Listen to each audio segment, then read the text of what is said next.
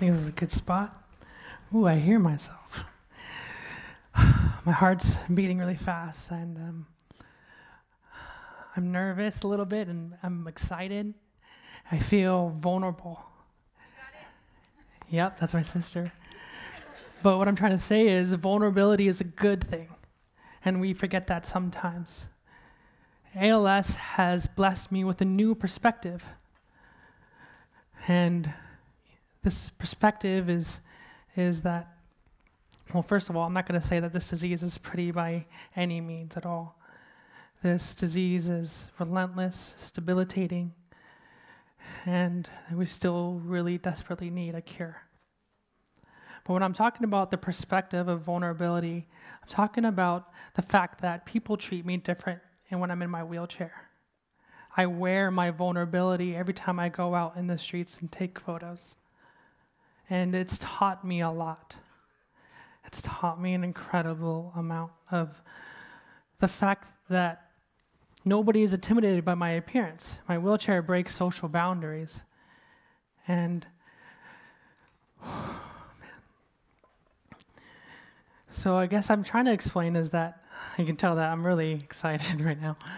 What I'm trying to say is that, you know, people treat me in a kind way, kind of like my childhood point of view. Do you remember when you were a child?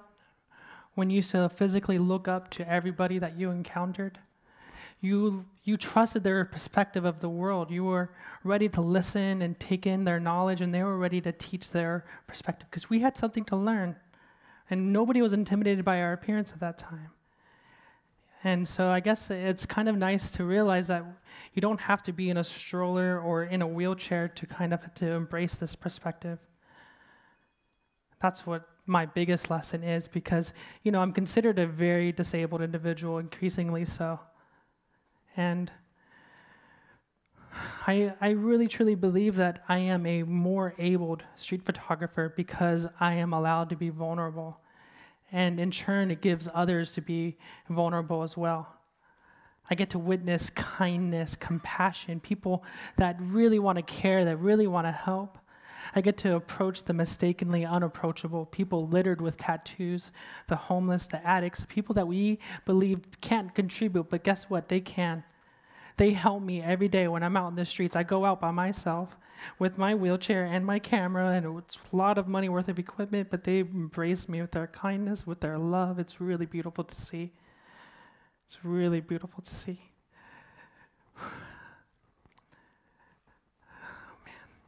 You know, perspective is, I guess, the theme of my conversation. And having this disease really, really shows me that, that time and life is just way too short. It's way too short.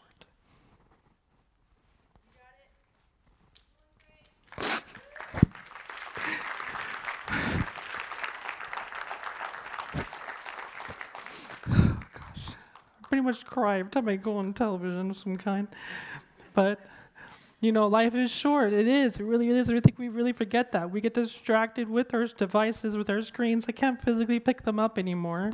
And so, in a way, it's a good thing. You know, I can't even bring the camera to my face, so I live and I am involved in every single moment. And I like to photograph the mistakenly ordinary because I feel like sometimes we miss it, you know? And so I, when I do go out, I am, you know, I think photography is an excuse for me to really embrace this kindness and soak it in. It charges my soul. It really, really does. And you don't have to be in my position to experience this. That's what I'm trying to tell you. Having a humble perspective is an inviting perspective. It reveals the the, the really the true potential of human kindness. It allows us to collaborate, to build trust. And the people that I encounter, they are disarmed because of my appearance. It's kind of crazy, you know? We are all going through something, whether or not we show it or not. The people that I that I see that are smiling, as soon as they see me, they I wouldn't have guessed the kind of adversity that they're hiding beneath their skin. You know? We're all going through something and we need kindness more than ever. And that's the way I'm looking at it. Last thing I would like to say is that I would not be able to go out in the streets and do what I'm passionate about without the unwavering support of my wife, Larnie. I love you. She's not wor- she's not here today because she's working hard right now. I love you so much. I wouldn't be able to do this without my mom's example. She's been fighting with this disease now for almost 15 years. And so I love you, Mom. Thank you for that inspiration. To my family, to my siblings, to my uh, tribe who gives me everything I need, I, I thank you. And finally, I want to say thank you to those that participate in the technology that liberates me.